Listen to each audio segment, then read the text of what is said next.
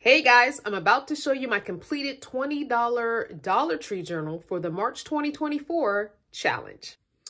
All right, guys, I think you are in frame, about as good as it's gonna get.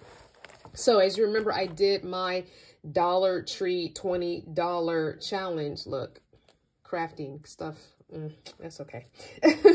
you won't get pretty nails here, I'm gonna tell you that right now. So um, I remember I used the Crafters Square Horizontal Burlap Sack. So that's what my base is. I decided to do three hole punch. I changed the rings to smaller rings, but it's kind of hard to open pages now. But I don't know what I'm going to do with this journal. I might cannibalize it once this is all over with and said and done with.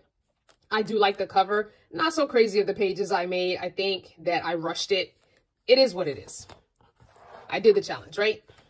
All right, this first page has a pocket. I still haven't put anything in it. I was going to make a big um, thing here, but I didn't get back to Dollar Tree to get anything. I still had like $3 I could have spent, but not going to worry about it. This also has a little tuck spot where you could tuck a piece of paper. Um, let me grab paper. This came from Dollar Tree, the big coloring book. You could always tuck something in there. That might be too tall.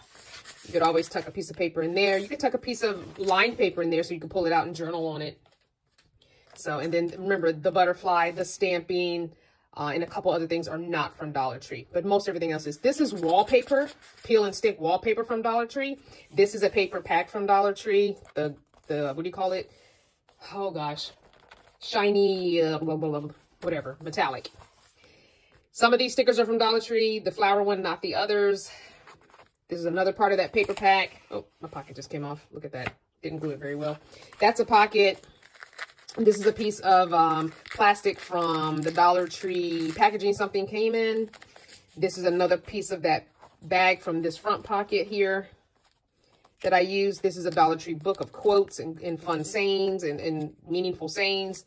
Dollar Tree stickers, Dollar Tree napkin, another piece from that quote book, uh, Dollar Tree notepad, Okay. This is just a piece of um, regular copy paper that I did some painting on, so it's not Dollar Tree. However, on the other side, this is from that book from Dollar Tree. Again, Dollar Tree scrap fabric, Dollar Tree embro embroidery threads, um, Dollar Tree notepad, don't think this paper came from Dollar Tree. I don't think this paper came from Dollar Tree.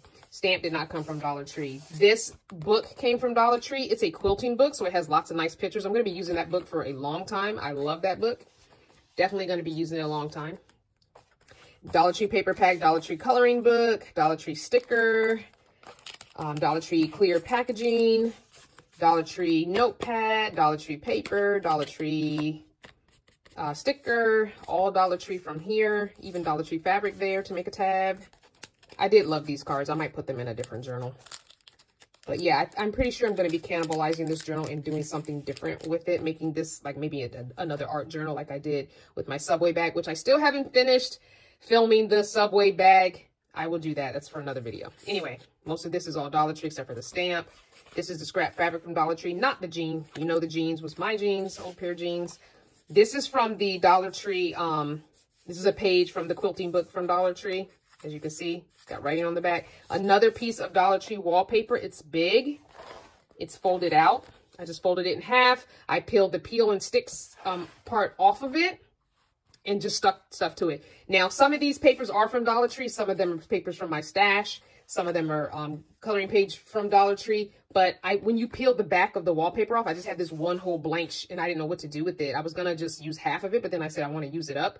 So I just stuck scraps, a bunch of scraps that I had, just scraps that I had laying around onto it. This is a Dollar Tree notepad. I just made a little tuck spot for a Dollar Tree um, coloring page. And then I just used a little circle thing to make paint circles on that piece of copy paper. Okay, the back of the Dollar Tree wallpaper has a little pocket with another coloring page. Here's the other half of that other Dollar Tree wallpaper. You saw this already with the Dollar Tree. Um, I used the packaging that stuff came in as my cardboard base between two sheets of Dollar Tree notepad. And as you can see, here it is, Crafter Square. That's Dollar Tree's brand embroidery thread. This is the thread that I used um, when you saw threads in here. Except for this. This is um, string uh, thread from a thrift shop haul that I got that I just used to put behind there. So put this this way. And these are the Dollar Tree stickers. I just covered the three punch holes with those Dollar Tree stickers. This is another Dollar Tree. Um, this is that notepad that I was talking about. This is what they look like. This is just a Dollar Tree um, piece of um, cardboard. And then I put it, cut the Dollar Tree coloring book, got Dollar Tree, um, uh, no, this is the paper from the Dollar Tree, sorry. Some of these circles are the Dollar Tree notepad summer paper I already had. This is what the to-do list page looks like. I usually cut it and use pieces of it. This is also what the full sheets look like from that pack that's from Dollar Tree. It comes in yellow, pink, and blue pages.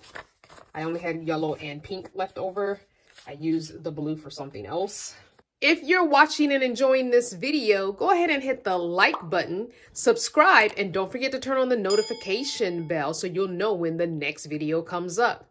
If you're already subscribed, thank you for your continued support. For those that want to support even further, check out my merch shop.